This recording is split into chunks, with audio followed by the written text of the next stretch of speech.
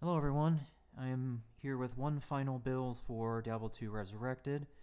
It will be the final build because it's the only other one that I can see of that fits my playstyle, and because I don't plan to spend a lot of time on Diablo. I'm happy to see an old gem return, but um, it's only going to be a stopgap for me. I plan to move on to Battlefield 2042 or another game um, after a while. By then, I'll hang this up and probably forget about it, honestly. Well, at least a good chunk of it. Yeah, okay. Um, to kind of help you understand this build, let me go and go through some things first. Starting with the difference between this build and my Amazon build that I just recently posted.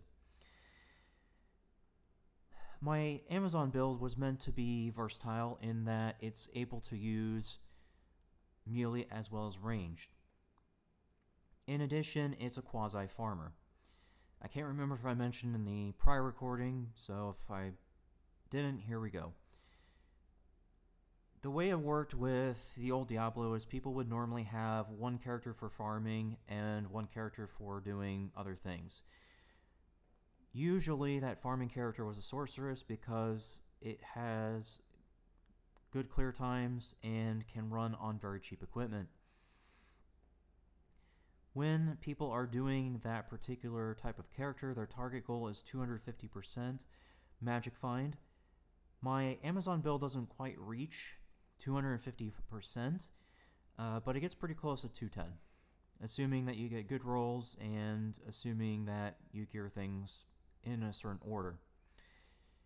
This Paladin build, on the other hand, is not going to be for farming. It's a combat dedicated build, and that is the only thing that is going to be featured in this build. I think that this honestly could be a better PvP build um, than my Amazon, because uh, you could add guided arrows to my Amazon build so that you can blend a super cheesy strategy with the spear, but I think ultimately this build will do far more damage uh, than my Amazon build. While we are talking about other builds, I will go ahead and compare this to a Druid. A Druid with Werewolf can do an incredible amount of damage, but I don't think that it's going to be as nearly as much as the Paladin, for a couple of reasons. One is the way the equipment is going to be set up in those particular builds, and uh, two is that the Paladin, at least in this particular setup in comparison to another setup, uh, would be able to sustain itself for far longer than the Druid can, even with all that percent life. It's just because of how much damage reduction this build does have, and uh, a couple other things. You'll see why very shortly. Okay, with that out of the way, um, I think I should cover some mechanics that you will likely see with this build, just so you're aware of um, what to expect. When it comes to the Hell difficulty, it reduces the amount of mana and life steal that you are capable of, as well as some other things. It lowers your resists and um, some other stuff. That means that unless you're hardcore stacking, life and mana leech, it's not going to have much of an effect in hell. There is an alternative, and that's damage to mana. Damage to mana you'll see on some rune words, items, or otherwise. This tripped a lot of people when it was new, and in the event that it will do the same to new people, I want to go ahead and let you know that damage to mana does not mean damage absorb. All it says or all it means is that the damage that you would have normally received does still go to your health um, after all the mitigations from um, you know damage reduction, elemental resist, or whatever. But in addition going to the health, it goes to the mana as well. So yes, it does depend on how much damage you're receiving. Um, that does factor into how much mana you're getting, plus the percent of the mana gained or the percentage of mana uh, from damage. You will notice that in this build, and that's why I want to cover it. Uh, last mechanic I want to cover is Replenish Life. Replenish Life is completely different from Regenerate Mana.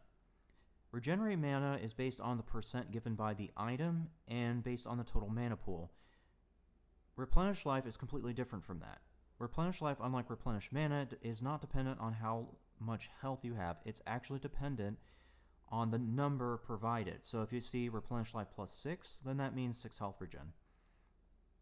There's nothing complicated to replenish life in comparison to replenish mana. So yes, you will also see replenish life on this build. It's not going to be a main focus of it, but you will notice it, and I just want you to be aware that that's what it does. Okay, with that out of the way, I can go ahead and start getting into um, the attributes. Well, sort of. Okay, actually, I just realized I forgot something. Um, I have noticed that the Fextralife Wiki is different from the Arreat Summit website, which is the one of the websites you'll see linked in this recording as well as the prior recording. Given that the numbers are different between the two websites, uh, it's really hard for me to tell which numbers are correct. So unlike my Amazon build, this build is actually going to have some uncertainties. It's not going to be too much where it's detrimental, but it's certainly going to be one of those things you have to pay attention to. Uh, unfortunately, there's just not really a whole lot I can do about that. Um, because the full release of Diablo hasn't happened yet, I'm not able to just go in game and check myself. With that out of the way, now I can talk about skills and attributes. Okay, for attributes, assuming that the numbers are correct, um, I will be shooting for a polearm. Let me go and tap over.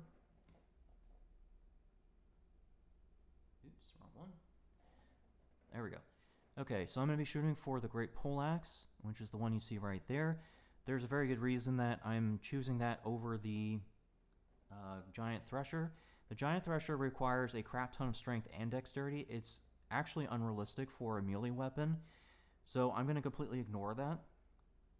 The Great Poleaxe not only does more damage, but it's a little bit more of a realistic approach to the build because you'll notice it only takes 179 strength and 99 dexterity.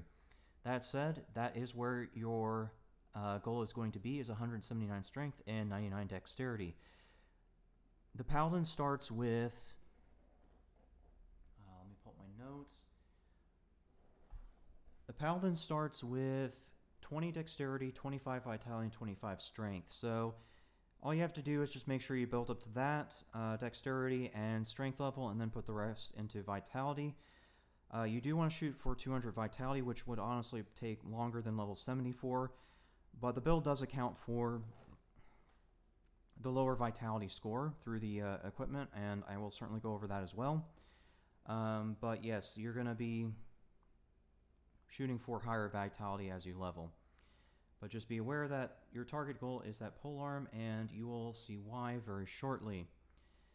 Moving on to the skills. Okay, so like I've said before, uh, with the last recording, you want to diversify your build as much as possible. If you focus on one thing, you're going to have a very, very rough time because um, if you run something that's immune, then yeah, it's you just have to have something to switch over to so you can compensate for that. Uh, not only that, it does help to have an AoE mixed in. Given that this is a Vengeance build, that means that well, I should say vengeance focus build, that means that you're going to be primarily focused on melee. There's not going to be a plus cast speed, which is what you would normally want if you're running a Hammerdin. But because we're running attack speed, it means that hammers are out. The next best thing that you can do for yourself in terms of not only switching to a different damage type, um, but also dealing with groups is going to be Zeal. So Zeal is going to be the secondary, but Vengeance is going to be the focus. That said, you're going to be looking for uh, a couple of skills here. You'll notice Vengeance is right here on the tree. And it's right below Zeal, so you'll be able to max out Zeal and Vengeance pretty easily because they're connecting to each other. I would also recommend in the combat tree that you get one point into Charge. Charge will just help you close the gap with your enemy, so you don't have to worry too much about um, running up to them so that's going to involve two points right there. Uh, essentially, this is going to involve one point because you have to get sacrificed in order to get to Zeal and Vengeance. And then those two are going to be 20. So the only thing in your combat tree that's going to be 20, which is the maxed out, is going to be Zeal and Vengeance. Vengeance uh, does synergize with the defensive auras listed right here, which is resist fire, resist cold, and resist lightning. It does synergize with salvation as well, but not as much as these three. In order to bump up the damage from uh, Vengeance, you're going to spend into these three auras, which happens to be able to help you with um, leveling as well. Out of these three auras, you're going to want to focus on uh, resist lightning because you're going to be having a focus of lightning damage on this build. I will go over that with the equipment in a little bit, uh, but you want to do that. The other thing that you need to focus on is fanaticism. Fanaticism is plus damage, plus attack speed, and a couple other things. Um, so this is really a great aura, and I'm happy to see the changes they made to that aura with Resurrected. Um, so you're going to need to also spend one point into these three skills to make sure you get down to Fanaticism. From there, you're going to want to max out Fanaticism. This is going to be your primary aura, and you'll see why once we get to the equipment as well. But yeah, so put a priority over here. Um, I would try to max these out if you can, but if you can't, don't worry about it. Uh, with whatever points you have left over after you've done all the things I just listed, um, if there's any points left over, you can spend them into salvation, but for the most part, I would ignore salvation because its synergy is less than what these are. These are 10% more damage to vengeance, and this is only worth 2% per point. As you can see, these are 8% more damage per point to the specific element, whereas this is only 2% to all of them. So this does not do as much as these three, unfortunately. And that's where your skill distribution is going to be. Now I should go into the equipment so you can kind of understand where this is going. There's a reason for, I'll go and start with the rune word, um, because there's it, it, ties into my explanation of the focus on the polearm and the skilled um, stuff. So I'm looking to make an Infinity build out of this. Now, I know that I said that you should be focused on shields if you're playing a paladin, but I'm willing to make an exception because this build is very tanky and it shouldn't be a, too much of a factor without the shield. But yeah, so you're going to be going Infinity um, so that you can get the level 12 Conviction aura while it's equipped. That makes it possible to do two auras at once, Fanaticism and Conviction. It's not going to be as strong as if you were to do a level 20 Conviction yourself, but it is still a 12 Conviction, which is still more than half of the enemy's defense and elemental resistances, which will allow you to hit them like a freight train uh, when using Vengeance. In addition to that, you're getting the uh, minus to enemy lightning resistance, chance of crushing blow, uh, plus to your vitality based on character level, and a level 21 cyclone armor. Cyclone armor will stop elemental damage. Now, uh, repairing an item that's using charges is going to be very expensive. But if you run into a situation where you absolutely need to use Cyclone Armor, you have 30 charges, and if you have enough gold to feed it, by all means do it. So yes, there's a very good reason that I'm focused on that halberd and um, using fanaticism with all the uh, vengeance stuff. While we're on rune words, let me go and talk about the other change. Let's see, that would be chest armor. Right. So on my Amazon build, I did um, the uh, chains thing. Where's that thing? Yeah, Chains of Honor. I did Chains of Honor on the prior build, which is plus 65 to all uh, resistances. It's very high. Um, but on this build, I'm going to be switching over to Fortitude. That's because Fortitude gives me plus life, maximum lightning resistance, and yes, the all resistances is lower than Chains of Honor, but it's still all resistances, and I can compensate for it elsewhere. I'll show you in a bit. Um, it's still damage reduction.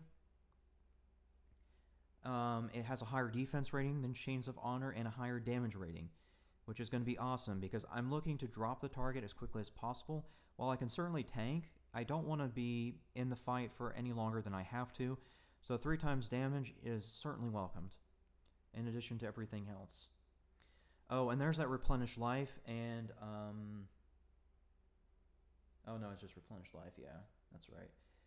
Yeah, there's that replenish life I was talking about. It is plus six on uh, fortitude. It's not going to matter much by the time that you get to fortitude because uh, you'll probably have around 3000 HP, maybe 2500, and that's going to take a long time to regen on, on uh, Replenish Life plus 6, so I wouldn't worry about that too much. But yeah, that's going to be your chest piece. You're going to focus on using Fortitude. Now, unlike my Amazon build, um, you do have the option to use other chest pieces because my Amazon build doesn't have the strength to use really anything higher than a Great Hauberk or Archon Plate. But because this build does have a ton of strength, it's possible to use uh, pretty much any of these all the way up to Kraken Shell. Kraken Shell is where you'll reach the limit of your strength, um, but other than that, you have all of this to access. Um, should it be hard to get Archon Plate or um, some of the others you certainly have that flexibility. So pick any one of these when crafting uh, Fortitude. Okay, that's your chest armor. Let me go over to the helms discussion. Now, uh, the other thing that we have to discuss when it comes to rune words is the helmet, because this build can um, use a dream crafted helmet, but I'm electing not to, and I'm going to go ahead and go through that. With Dream, it does provide a level 16 Holy Shock, which does add to my area effect, but the problem is it's lightning damage meaning all it takes is one lightning immune to make this completely worthless. In addition, notice the other stuff that it has on it. Uh, it's defense, vitality, maximum life, all resistances, and magic find. So, while those are certainly good, the defense, uh, faster hit recovery, and the life, it's just not going to be as good as um, Crown of Ages. Crown of Ages is going to give you a ton of defense, plus one to all skills, which isn't a really big deal. Um, damage reduction, which is extremely hard to come by. Um, all resistances, faster hit recovery, and two sockets. Because um, Crown of Ages can have up to two sockets, that means that you can certainly put runes in there if you want to. And let me go and tab over for that. So uh, one of the things that you can put in there um, is Ber runes. If you were to put two Ber runes in there, you would increase your damage reduction by an additional 16%. You could, if you have a very good roll, hit 30% damage reduction between Crown of Ages and Verdungo's Hearty Cord. And then you can stack another 16 on top of that, making 46%. 46% would put you just 4% below the maximum um, cap of damage reduction. So, yes, you would be able to reach a higher damage reduction through Crown of Ages than the other one. The plus life is nice because we are running a lot of plus life, but I'm able to compensate for that through Infinity and Fortitude. So I'm not too concerned about losing life on the helmet. So yes, uh, there's a very good reason for wanting to do Crown of Ages. Okay, there's that. Uh, let me see. Oh, here, I guess I can just real quickly pull up. Yeah, there's Verdungo's Heavy Hearty Cord. It's the same as my Amazon build. Um, you can see that it is Vitality and Damage Reduction. 15% of max roll, so... Okay, moving on. When it comes to the gloves, you have a couple of options here. Um, as I mentioned with the mechanics, you do get reduced uh, mana and life steal. So Soul Drainer actually might not be a good response um, to Hell difficulty, at which point you would be looking at Laying of Hands or Lava Gout in that situation. The difference between these two is going to be in the fire resistance and the fact that Lava Gout has um, half freeze duration, but you will be running Ravenfrost, so I don't really see a point in worrying about that half freeze duration. It really is just down to the um, fire resistance and attack speed. At which case, this is 50% fire resistance by itself, and this is only 24%. So, Laying of Hands certainly does a lot more for this build um, if you're looking for an attack speed glove when comparing it to Lava Gout. Okay, let's go ahead and talk about boots now. So for boots, um, there's really only two good options here. That's going to be Water Walk and Immortal King's Pillar.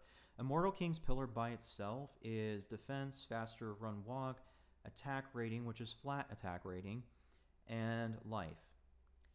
Water Walk is going to be a little bit different in that it gives plus percent maximum fire resistance, heal stamina, um, bigger life pool, um, and I think the difference is max stamina as well. Let me just double check that.